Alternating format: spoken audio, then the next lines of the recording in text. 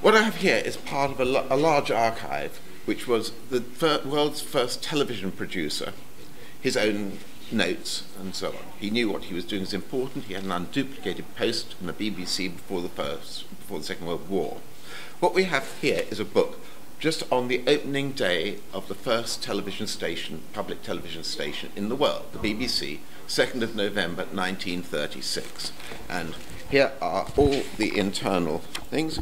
Here's how it's going to be laid out, the speeches and so on, the people's making the speeches for the opening ceremony. And this is what it looked like in practice.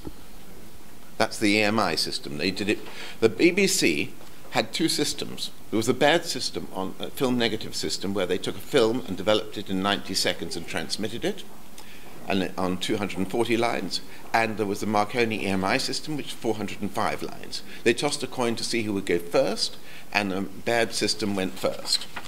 So that fired off, and we have all the emergency announcements for the Baird system, things like uh, all, the, all, all the speeches given, and so on.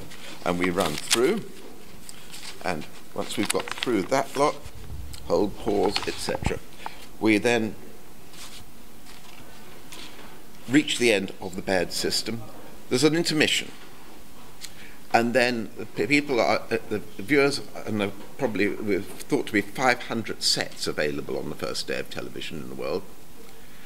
The viewers were told to switch the switch on their television set from 240 lines to 405 lines. And then after a quarter of an hour, the whole thing was repeated on the Marconi EMI system. So we have exactly the same thing running through, and we have the speeches, but Marconi EMI system is a much more sophisticated system. It uses different cameras, so you can mix between them. Here are the actual statements done online at the time. This is who's working notes. Here are the emergency announcements in case it broke down. If it's going to break down for five minutes, ten, quarter of an hour, half an hour, if it's going to have to be cancelled completely. And the music that was going to be played in between, incidentally, if it broke down. Then we have all the speeches again. This is great fun. They're all in carbon copy because it's the second time round. it is worth mentioning that the BBC, for its opening programme, the first public television service in the world started with a repeat.